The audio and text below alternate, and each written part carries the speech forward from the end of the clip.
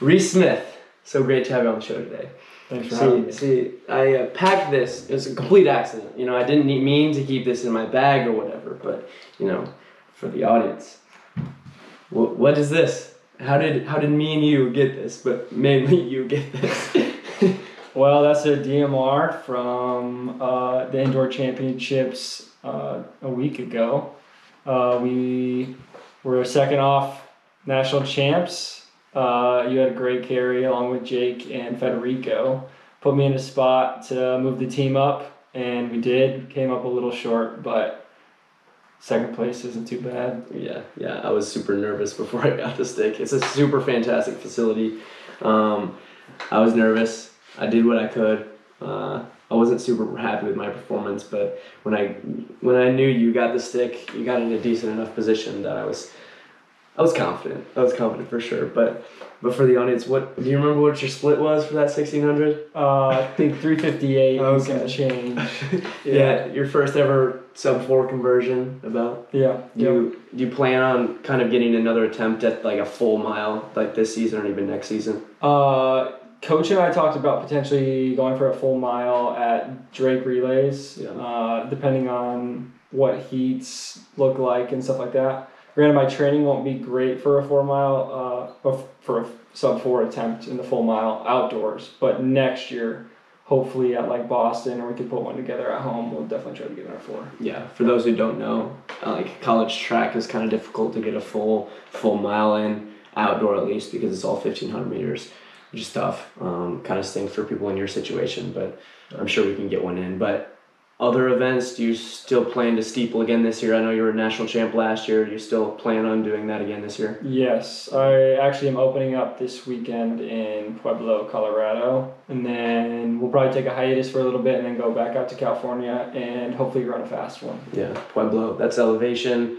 Do you know what that is? Is that going to affect you at all? Um, I don't know. I've never run there or raced at altitude. It's like forty six hundred feet, so it's not terrible. Okay. But I've run it like Denver, but I've never raced, so I don't know how it'll be. Yeah. Yeah, it's going to be different for sure. Um, I'm just running 800s and it'll be in uh, Emporia, Kansas. So it's not it's to be sea level, so I won't have to deal with that. But that's exciting. We can get out there. I know it's that's isn't that the national mar like Yeah, that's the national site. That's why we're trying to get out there, see what it's like. Hopefully, before kind of get one under our belt before we're in the national prelim, trying to figure out how altitude's going to affect us. So. best case scenario you qualify there. Are you going to try and qualify for a 5K, 1500? Like what's your next move from there? Um, so this one's just a rust buster. I have no idea. It could go really well or really bad. Um, from there, we'll probably try to run a really fast steeple at Mount Sac. Yeah. Uh, get in like a pro race with some big time guys, and then that'll hopefully be my shot to break the D two national record in the steeple. Um, and then we'll try to double back and do a 5K qualifier, and then I'll probably run at Drake, and then hopefully I'll do steeple and 5K at conference, and then hopefully be in in both for nationals. Yeah, you, you said the magic pro word. Um, I've had, I know one of one person that's was with XLR8 but graduated now asked me like, would Reece want to go pro? Um, is that something on your mind? Are you debating it at all? Like, what's the deal with that? Um, it's really tricky. I mean, it's not as simple as just like someone reaching out to you with a contract. So it's kind of a lot of work on my end. Um, it's not completely off the table, but I mean, I have another year of eligibility next year, and I still have to finish my degree yet. Yeah. So it would have to be a really good opportunity, but I wouldn't say it's completely off.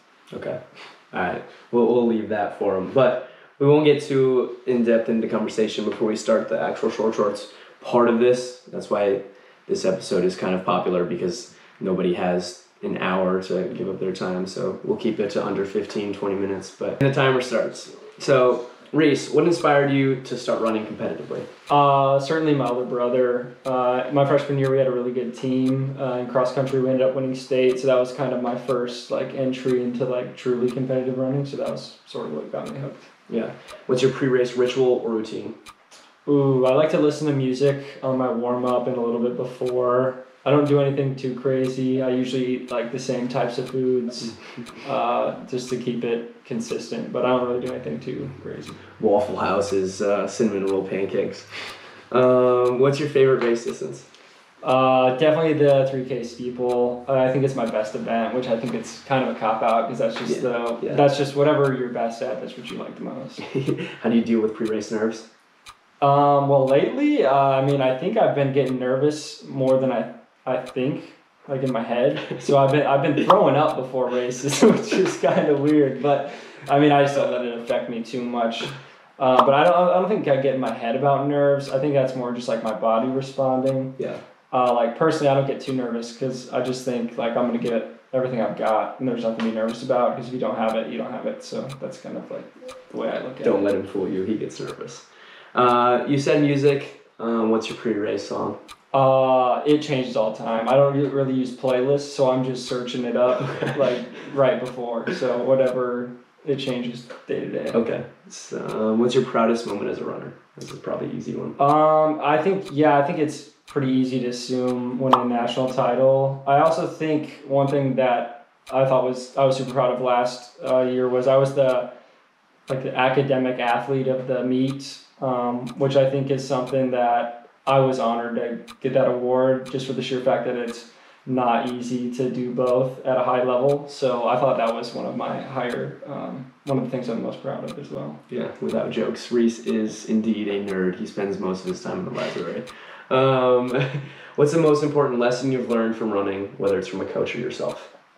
Um, I think the the highest highs bring the lowest lows, and uh, you know when the, the lows make the highs even better. Mm-hmm. I think the sport of running is a lot of up and down, and you know like three months after I won a national title, I had a broken hip. So you know you kind of get humbled real quick, and you just kind of gotta ride that wave. But you know when you're in your lowest low, you know the a high is on the horizon. Yeah, yeah, for sure. Uh, what's your favorite workout or training session? Uh, we do. It's a steeple workout. It's six by one thousand, um, with three of the Ks are over hurdles and three of them are just normal Ks.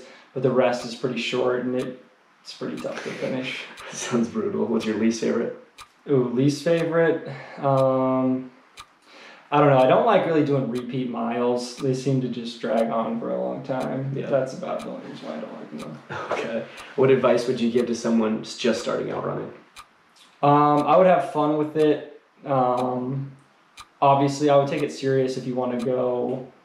If you if you want to get a lot out of it, I would take it serious early on. But also, don't take it too serious that you don't have any fun while you do it. Yeah. Um, your biggest motivator, the fear of losing or the drive to win? Um, I think it's just a drive to win. Yeah. Uh, I'm not. I think if you put losing in your mind, you're gonna lose. So I don't try to do that. Okay. A little nuanced question. What's your favorite co- quote from Coach Wick? This one you might have to think for a while. Um, I think when I was running the 4x4 and he yelled my split at the 200 as 20 seconds, uh, I, I had a hard time not laughing while racing 4x4. So that just kind of gives you a taste of what Coach Wick is like, yeah. Um, someone on the team who you couldn't live with. who I couldn't live with. Uh, Yamane, he moves too slow. oh no way! I thought you were gonna say Drew. you are living with him next year. Uh, favorite post race meal. Definitely Raising Cane's. Okay. Without a doubt. All right. Last question. We're over time, but what's next for your running career? Um, that's a good question. Uh, probably depends on how a couple postseason things go. If I'm able to make the USA Championships and do some damage in like a prelim and final, maybe I feel like that would potentially open up, like you said, more professional opportunities. But right now, I will be back next year, and that will I'll have all next year, and that will end my college eligibility. I technically have cross country um, eligibility left, but I will not be finishing all of it. so I'll be back for a full year next year, and then I don't know what it looks like after that. Okay. Well, we went a little over time. I added a couple more questions, so that's probably why. But any other ones you wanted to retouch um, before we finish up the show? Um, I think uh, when you asked about what inspired me to get into running, uh, definitely my older brother. He's had a lot to do with, I think, a lot of the success I've found. He's always been in my corner. He's my biggest fan and cheerleader.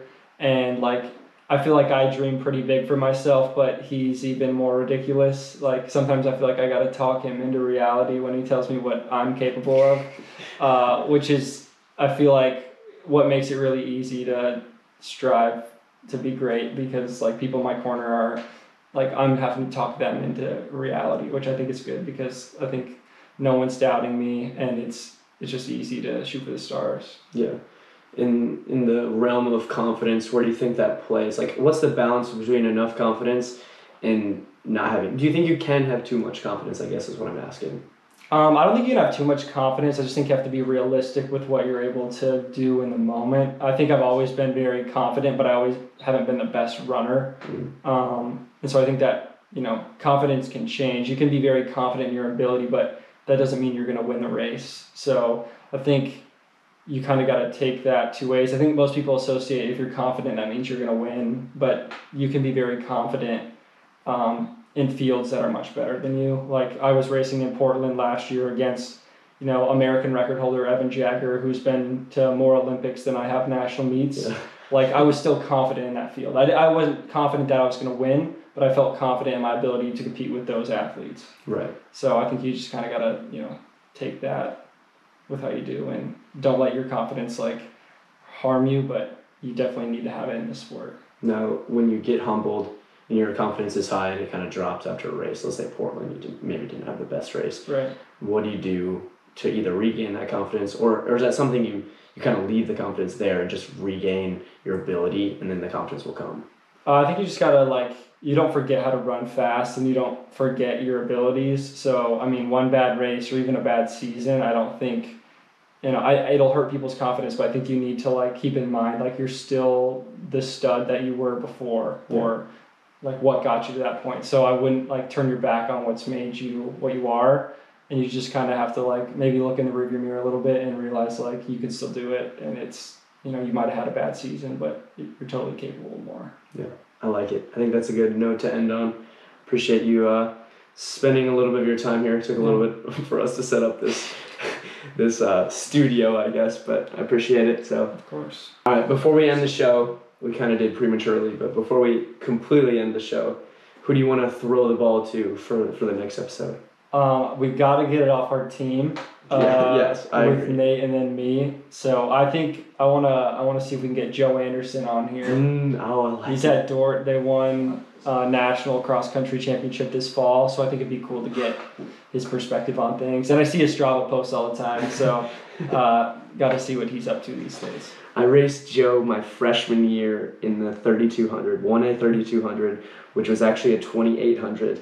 And a 3200. and a 3200. They rang the bell one lap early. I was so far behind that it didn't matter to me, but it did to Joe. So Did you did you know what lap you were on? yes, I did. Okay. I did not think I was gonna run a nine flat two mile. I think Joe knew what lap he was on. Yeah, yeah. So we'll have to ask him about that when he gets on the show. sure. I'm sure he hasn't forgot about it. But all right, now we're ending the series.